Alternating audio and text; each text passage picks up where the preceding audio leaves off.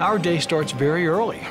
We never know exactly when we'll have a full house, so we have to be ready at all hours. We have regularly scheduled deployments that come through, but things rarely run on schedule, so we have a lot of surprises.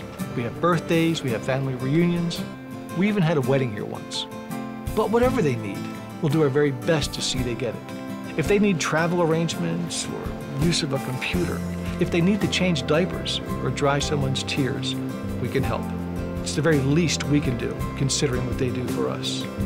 If you want to make a difference in the life of someone serving our country, if you really want to make a difference, the USO is how it's done. Help us help them.